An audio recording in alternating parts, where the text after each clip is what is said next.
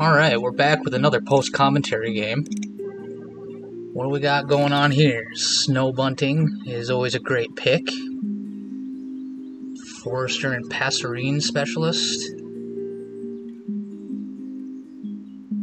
American Oyster Catcher is probably going to be my second bird pick here. Get them both down in the grasslands and just start drawing cards, or not grasslands, but the wetlands rather. Just start drawing cards. Nothing amazing in the tray. Cowbird could be good, but it's always difficult to try to gauge your opening plays when you haven't even seen what your opponent is attempting to do yet.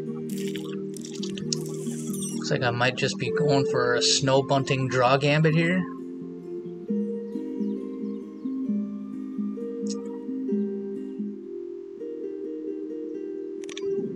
Yep, just gonna throw that bunting down in the wetlands and start drawing cards.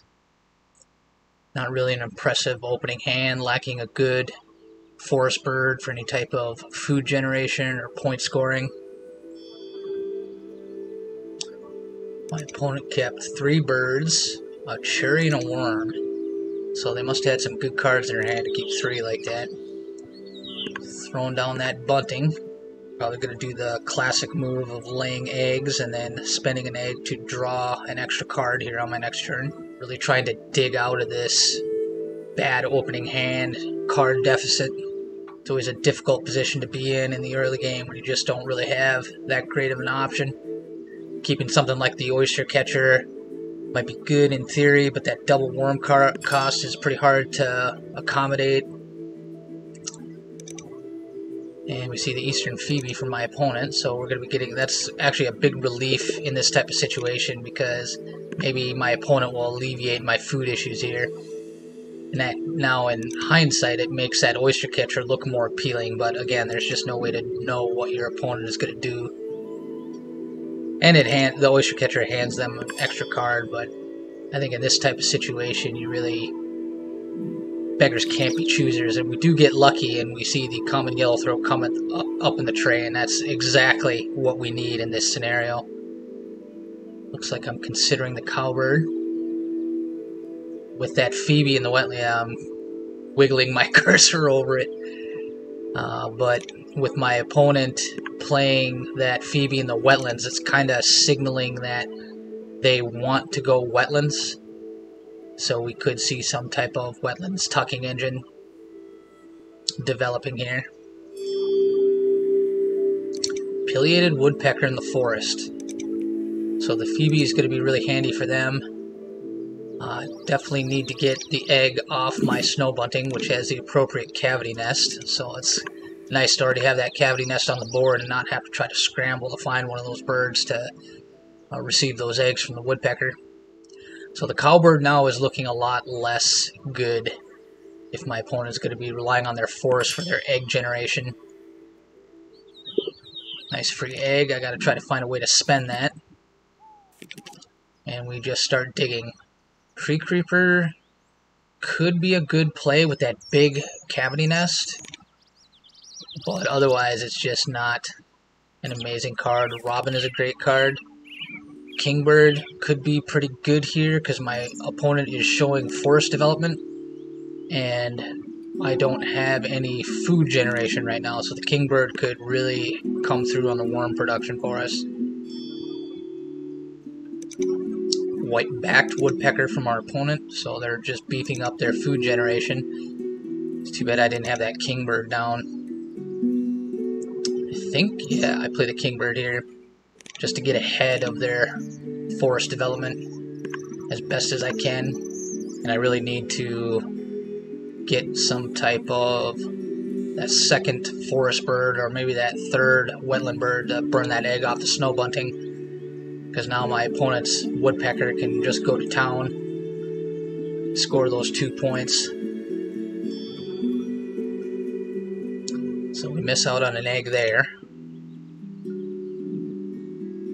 Dig for more cards. Spotted Owl is good. It's got a cavity nest.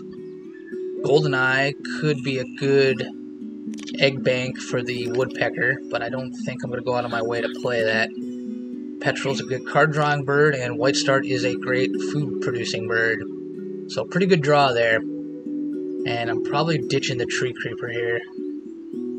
It's the worst card out of everything I have in my opening hand. Or not opening hand, but my current hand.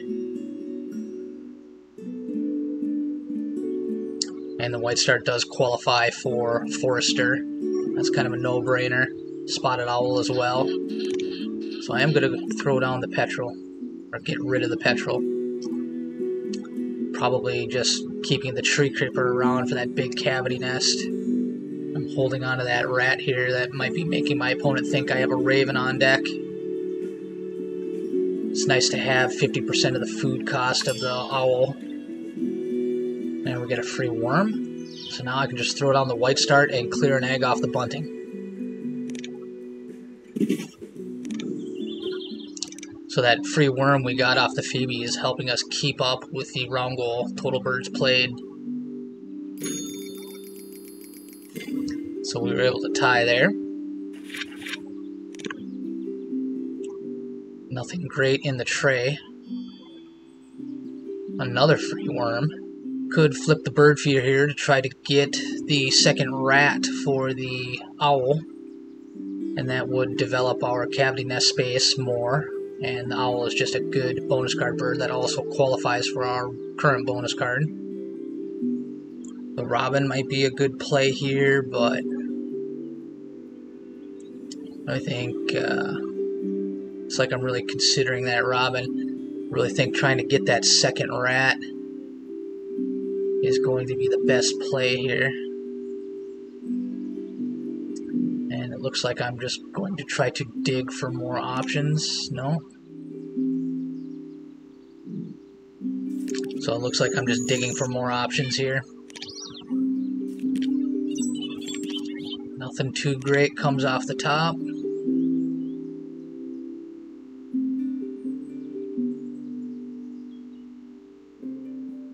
Cedar waxwing is a good grassland bird. I could also potentially throw it in the forest here. But with that Robin and that Waxwing and these excess cards we have in hand, could establish a fairly strong mid-game grassland engine. So we see the bird feeder flip here and there's no rats. But there are two cherries there. That might be a good consideration to make. Grab those two cherries for the waxwing. Could lay eggs, tuck a card, get a cherry for the robin. And we pick up another egg.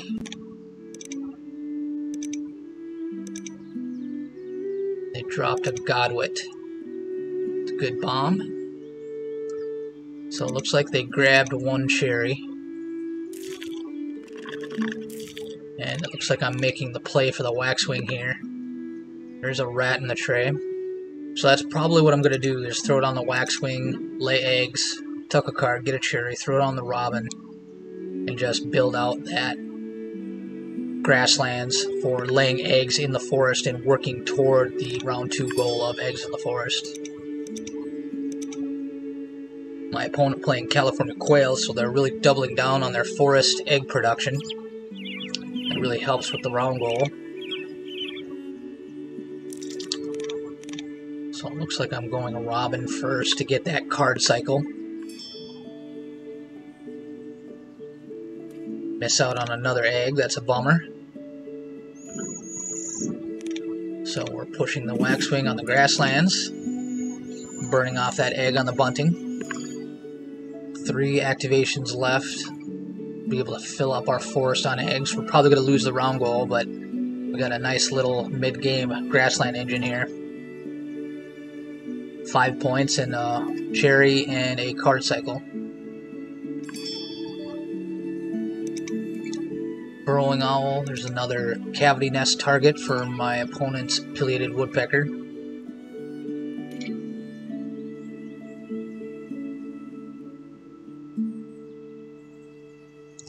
like I'm considering this golden eye. I could force it down with the food that I have.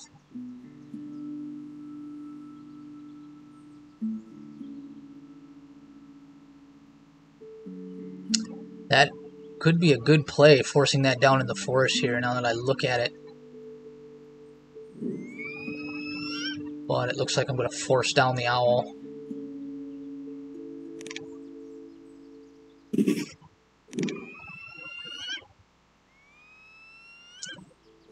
Kind of an easy bonus card pick there, Ecologist. And that snow bunting isn't really doing much right now because my opponent doesn't have any tucking birds, but snow bunting is always a good card to just have on the board. It's a decent five point body.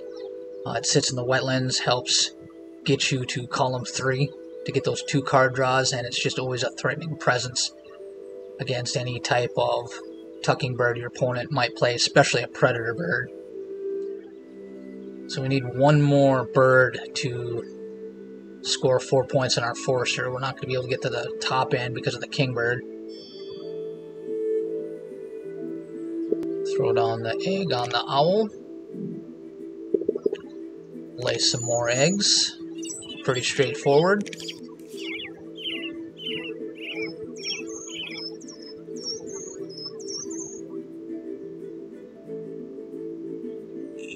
Like I'm still thinking about that tree creeper just because it qualifies for Forester and it has a big cavity nest. Spoonbill is good pull. Big bonus card birds are always good. Another free egg, always welcome. Looks like we're going to pick up two rats looking to play that red-tail hawk. Out the grasslands more. Came in second there. So wood duck pops up. We gotta deny that, I think. Snowy owl is looking pretty good. We even have the two rats for it.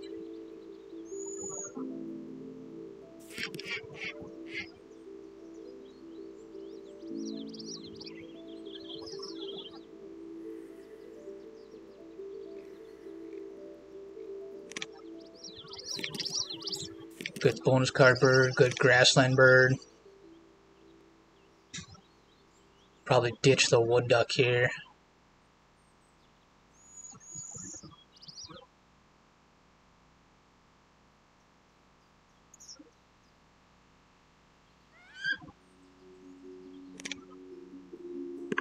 And killdeer pops up. Kinda late in the game for killdeer. My opponent already has good egg production, but they might throw it down in their grasslands anyway for just that extra card draw, so they can have eggs and cards in the same action. But they can't let me have it, so they're probably looking at that saying they have to deny it. Because with what I already have established for my grasslands, uh, early round three killdeer can still put in a lot of work. It can feed that waxwing and they don't know I have the Swift in hand, but that would be a really good play for me. So yeah, they do deny the kill killdeer.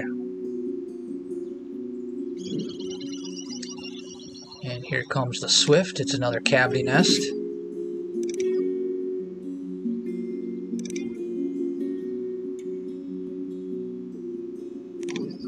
That's kind of funny. We were both able to deny the card drawing bird that the other would love to have had.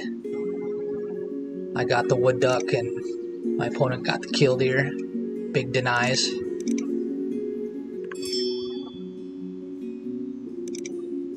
Long spur, good bonus card bird.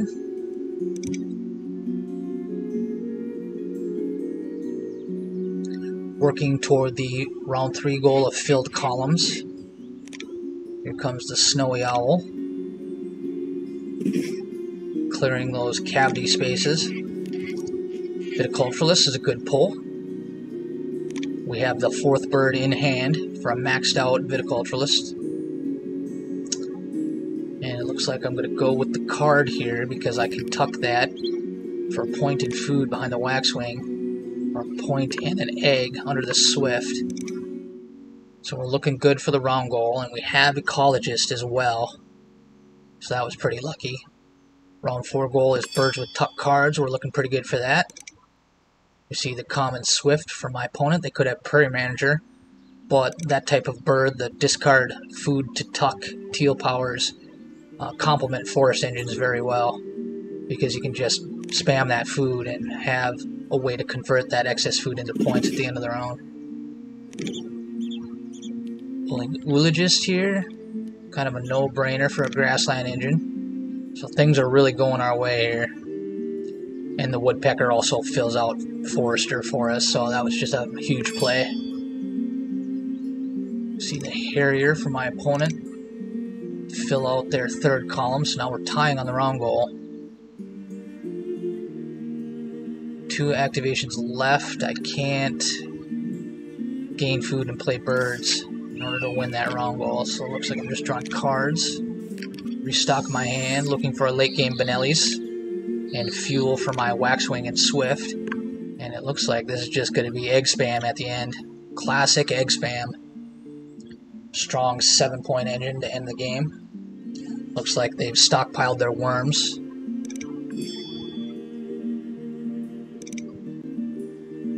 More worm game from my opponent.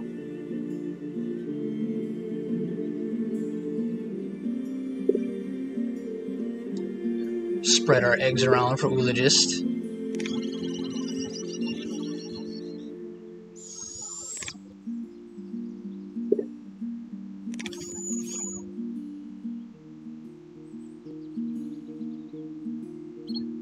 Be nice to get that spoonbill down.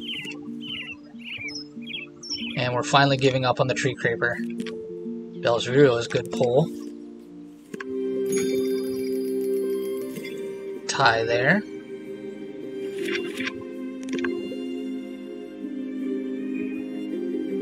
Nothing too amazing in the tray for my opponent. They're probably really looking to secure some tucking birds here. Their Swift is getting them on the board for that goal, though. So they took the Shrike. Interesting. So they threw down Killdeer here. I'm not... I'm confused by that.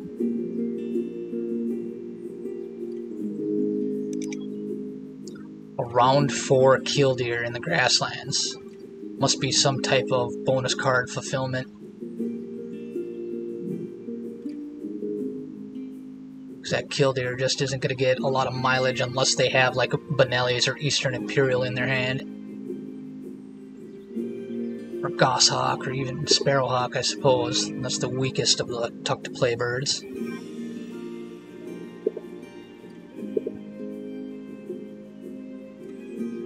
spreading my eggs around, trying to keep cavity nests open as best I can.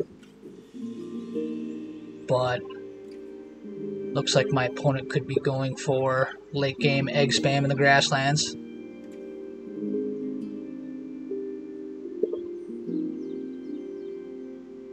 Really deliberating hard about this, putting more thought into it than I really need to, I think. trying to make sure I score those points off of Oologist without also blocking me off and taking advantage of the Woodpecker.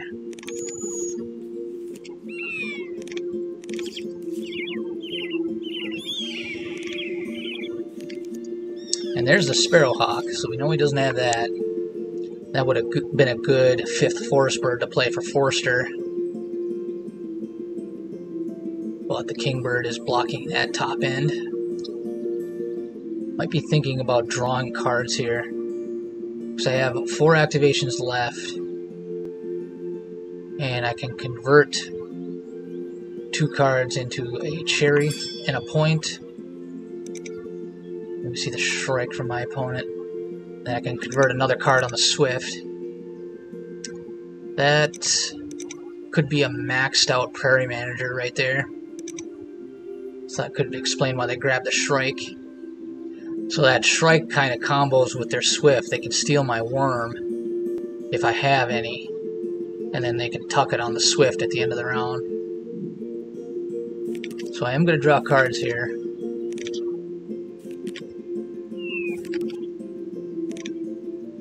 And Hermit Thrush, yeah, I was going to say, I got those two cherries. All I need is a worm.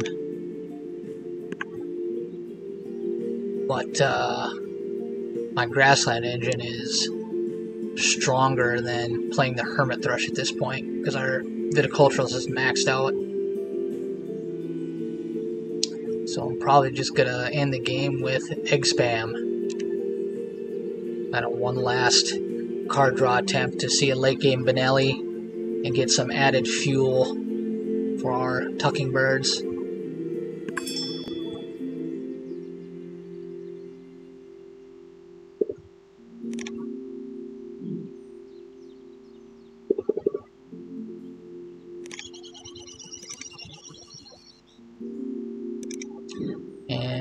Might... What's the math look like here? Could discard a food for an extra egg.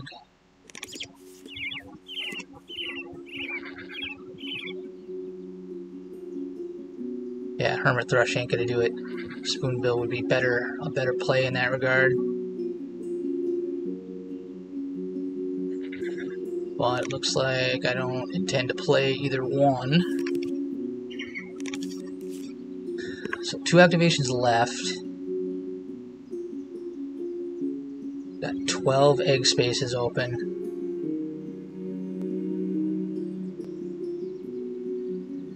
So I can spend two food here and fill up on eggs perfectly.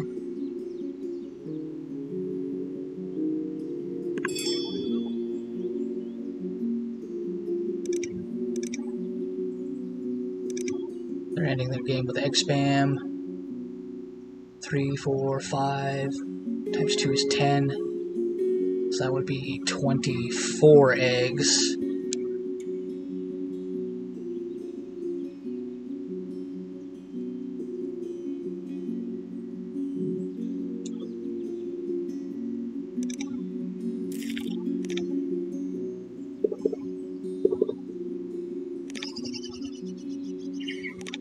That draw card action I took gave me the fuel I needed for my Swift and Waxwing without also filling up on eggs prematurely.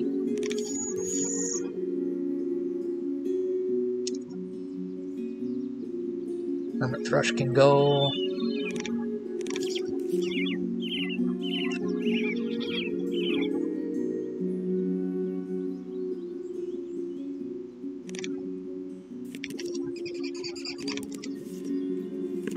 And the cards I get are just a formality at this point.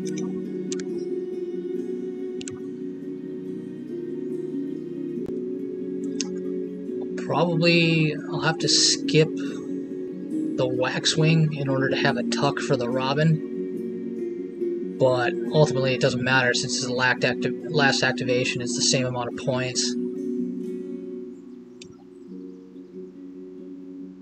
Tuck my final two cards. Get up to 25 eggs. Should win the round goal.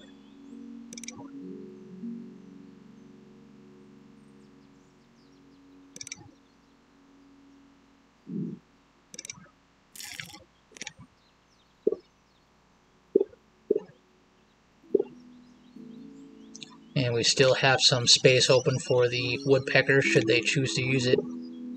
But at this point, I don't think that's going to happen.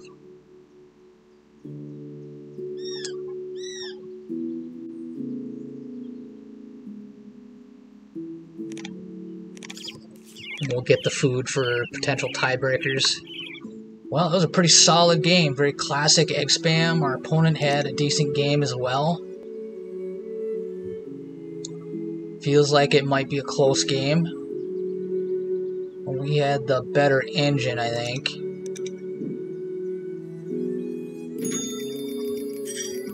Won handily there. Well, if you enjoyed that game, please hit the like button. I'd really appreciate it. Let's see how it pans out.